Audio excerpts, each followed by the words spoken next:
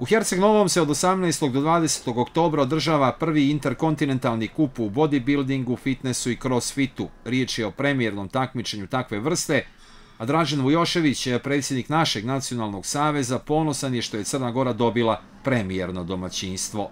To je prvi kup koji se organizuje još od osnivanja Svjetske federacije koja postoji od 1946. godine i prvi put je ove godine ustanovljen i eto mi smo imali tu čast da nama pripadne da mi budemo, mi budemo organizatori prvog interkontinentalnog kupa.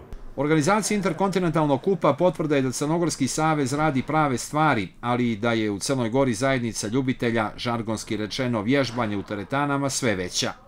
Evo, odnosno, na primjer, na prethodnu godinu bukvalno se udvostručio broj klubova, samim tim i takmičara. I evo, samo ove godine imamo konkretno nekih 20 aktivnih takmičara. Interesantno je da više naših djevojaka nego mladića ima želju da se takmiči. Ne želim sad da, da umanjim ničiji trud, sve je to ovaj, jako težak proces u koji je neophodno pristupiti na neki donekli fanatički način.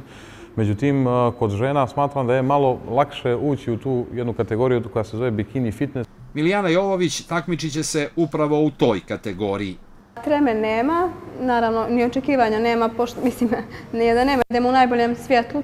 E, prosto radili smo toliko mjeseci za, e, na formi, na pozingu i svemu, tako da mislim da je najbitnije da se predstavimo u tom najboljem svijetlu. Ilija Ivanović je s druge strane na takmičenju Herceg Novom nastupiti u kategoriji Men Fizik.